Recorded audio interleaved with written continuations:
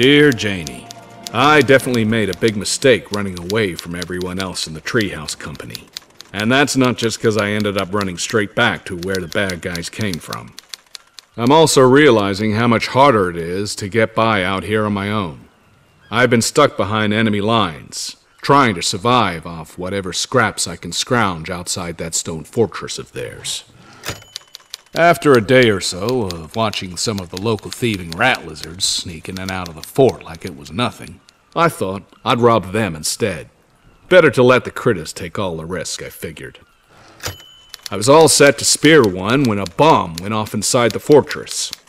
The blast wave knocked me right off my feet, and that whiskery little bastard ran off with his haul of carrots before I could even think of going after him. Didn't have much time for belly aching before I heard a roar like none other that sent a shiver right down my spine. Couldn't tell what the hell was going down in there, but I know a fight to the death when I hear one. I was all set to play soldier one last time and charge into battle, but something exploded inside the fort and collapsed my only way in.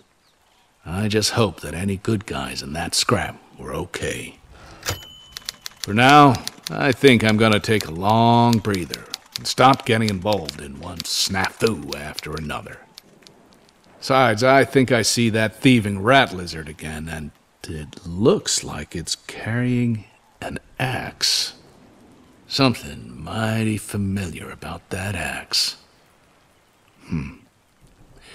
Yours forever, Bob.